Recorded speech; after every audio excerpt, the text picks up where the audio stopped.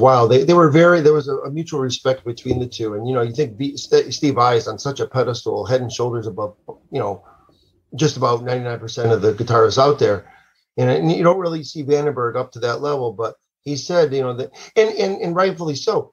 Um, in Vivian's case with Phil Collen, Phil Collen over in not Phil Collins, yes. Phil Collen, Def Leppard, he says the same thing that it's you know there's such a mutual respect. You know, Phil Collen not being known as the guitar player's guitar player, um, but Vivian, yes.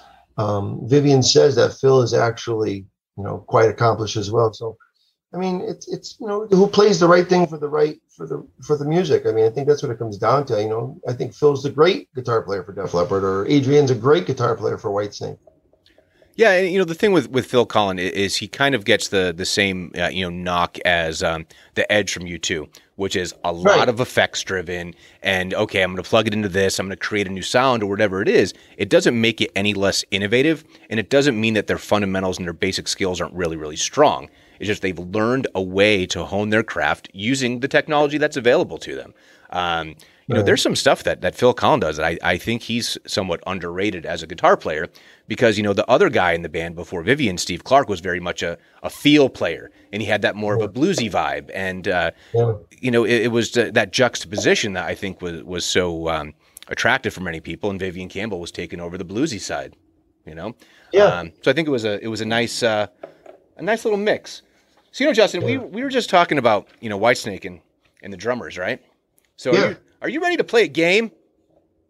Uh, yeah, this, this should be fun. Okay. All right. So I had mentioned that I was going to have a segment called Musical Highlander. Now I wanted to have some kick-ass bagpipes playing right now, um, but I got to work on my triggers because otherwise you'd hear that and it's like, oh, Connor MacLeod, it's time. So because it is March Madness, we're doing it as the the Highlander uh, single uh, single elimination tournament. So I'm going to tell you that right now, Tommy Aldridge has a first round bye. He has a first round bye. So, Whitesnake drummers, and there were many of them. There can be only one Ian Paice, Ian Paice, or Chris Frazier. Oh, Chris Frazier right now is I'm all about him right now. All right. He, Smart move, thing. he moves on. He moves on in the rankings. What, what do you have to say about Chris Frazier? Uh, wait, hold on a second. My, the Wi-Fi is getting a little funky here. Sure. Uh, Chris Frazier right now is my my my my guy right now, and just because the band, you know, as I told you, we just had band practice tonight. We're learning a bunch of foreigner tunes.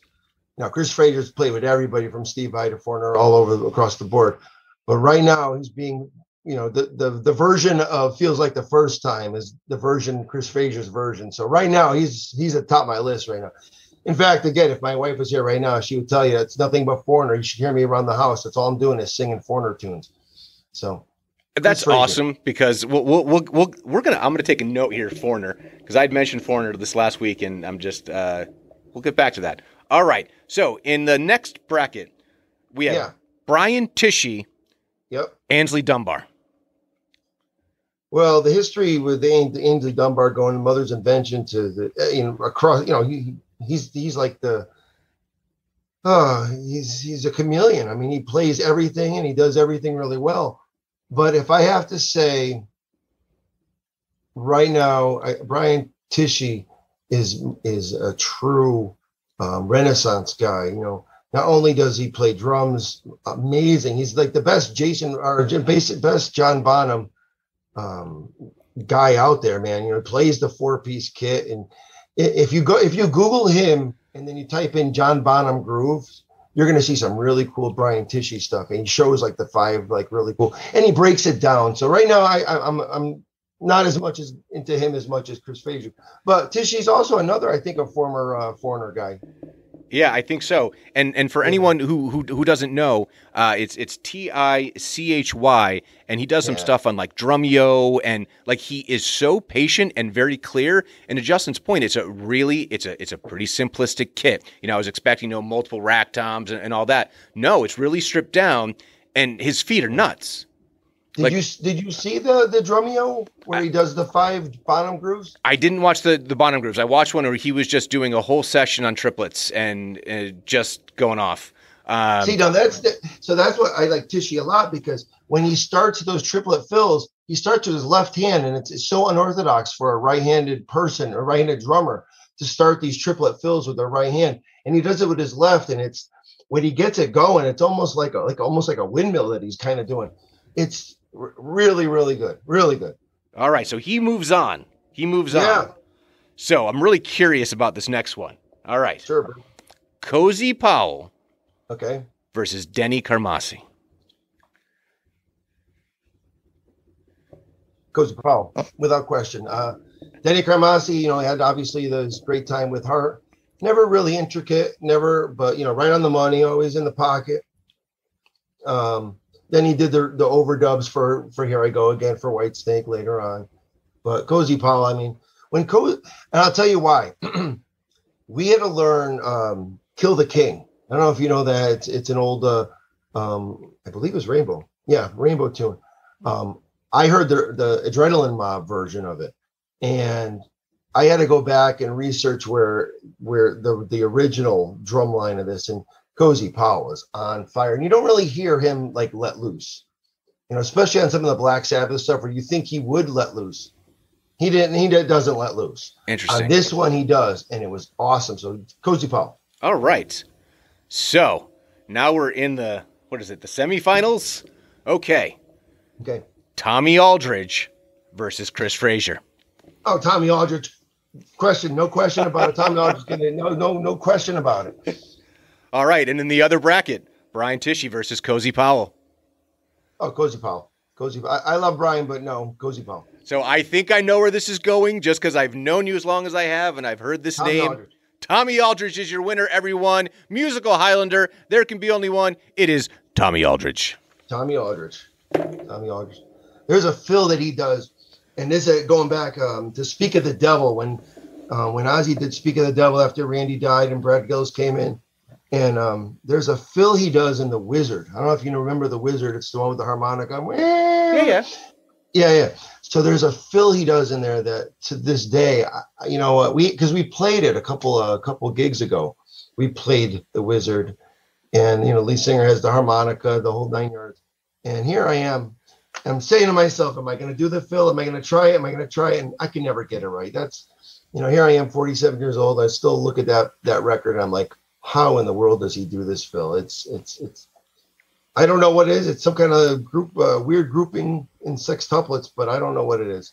And and he still does, you know, uh uh, what are they called? Workshops and all this kind of stuff. And I mean, Oh, yeah. what is he like? He's he's in his 70, seventies, 71. and He's 71. He'll like still like rip off the shirt and just start like killing it. And he looks like you know we Yeah. used to joke about you looking like animal, right? And and he is, and and the hands are going, the feet are going, and it's like unbelievable that he just has this engine that just won't quit. And that was always like the the whole when you have someone who can hold it down like that, and he could for you know a two hour show easily. Forever, yeah. Yeah, it's really really hmm. amazing. But you mentioned you mentioned Brad Gillis. So this is something that I clearly remember, and I think that you are probably, uh, uh, you know, my aunt Diana. I think, I think you know her. I think it is like you and and her. So uh, she she's sixty four, the early part of uh, of, of Gen X. She loved Night Ranger, but I remember clearly you loving Night Ranger. Yeah. So Yeah, was there something in particular about them? Because I, you know, it was one of those weird things. They're, they're, you know, the ballad band, right? So it's like Sister Christian, but they have a lot of really rockin' tunes. So I couldn't even tell you who the drummer is. Kelly Keagy. Kelly Keagy. As soon as you say the name, I'm like, oh yeah, I remember that. Um, Yeah. So like, what drew you to like those those kind of bands? Because like that whole early '80s rock scene. You know, you mentioned Journey, you mentioned Foreigner, uh, but you also had like the REO Speedwagons, the you know the Night Rangers, all those kind of things. Um, you think Night Ranger gets a little lost in the mix as far as like they they were really more. Um, you think about some of the stuff they did later you know, Jack Blades' this Damn Yankees with, you know, Nugent and Tommy Shaw and all that. Um, but they were really the the precursor to some of the the hair bands, right? I would think so. You know, I think with uh with Night Ranger, you had Jeff Watson who was doing the eight finger tapping. Um, you know, and that that was early on in the early '80s, and I think obviously Eddie had the the, the spotlight, but you know he was doing some pretty amazing things that, with that. And but I think the the the problem for them was as soon as Sister Christian came out so early on, I think there was a problem with the uh, the record company that said we want another Sister Christian. So then they had a, I think for was it was it Seven Wishes the the record where they put out um Goodbye, Mm. and I think Goodbye was you know their you know their their answer to the record company's ballad, and then it seems like the they they shied away from the heavy stuff. I mean, I mean, like "Sing Me Away" or some like you know um, the song "Night Ranger." I mean, some of those early early rockin' tunes are just awesome, and I, I don't think they ever got back to that. I mean, they became very keyboard fr- uh, happy, um, and I think when they got a little success, they uh, a secret of my success. Let's talk about that. with Oh yeah, yeah, Fox yeah, yeah. it- they did the uh, the soundtrack to that or that song on the soundtrack that you know it's almost like they got pigeonholed that you know you know it's cookie cutter i hate to say it but you know it's it's it, it almost became cookie cutter i guess you can say so i think they got lost in the mix I, i'll agree with you definitely You know, so there's a great book. I don't know if you've read it. It's called Nothing But a Good Time.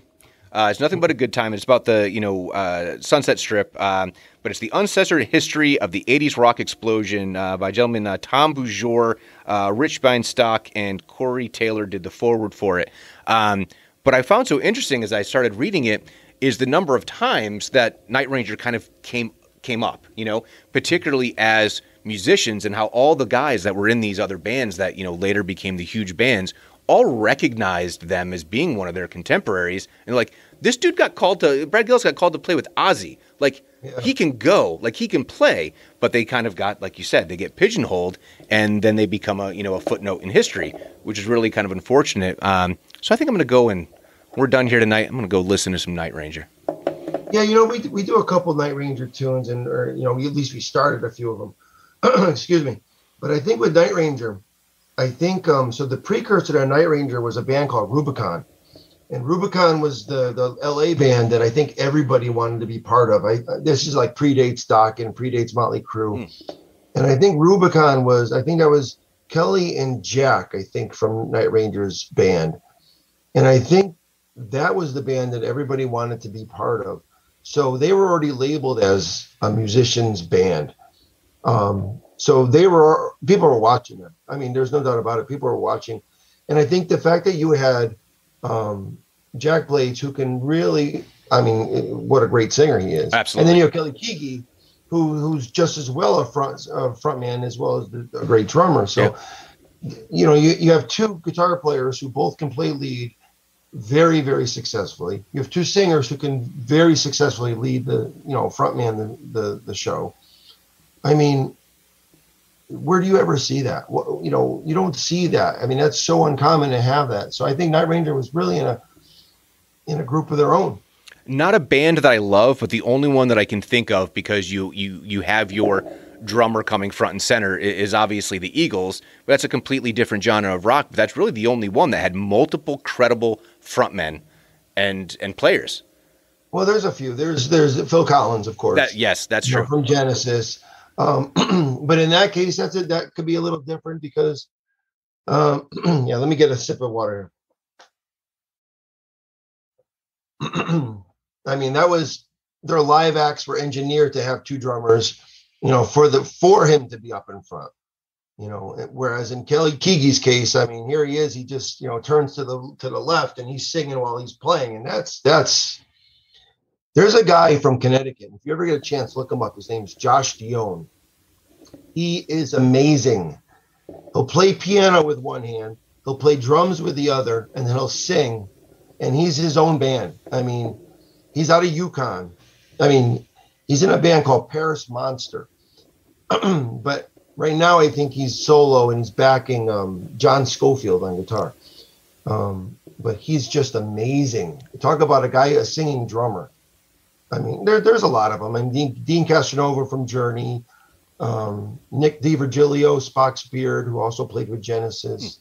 I mean, there's a lot of really big names. But you mentioned, of course, Don Henley. He's probably probably the most famous of all. Or um, um, Levon Helm from the band. Oh yeah, yeah, yeah. That's true. Gosh, I Yeah. forget about them sometime. Uh, Bob Dylan's uh, you know backing band becomes legendary on their own. Right, right, right.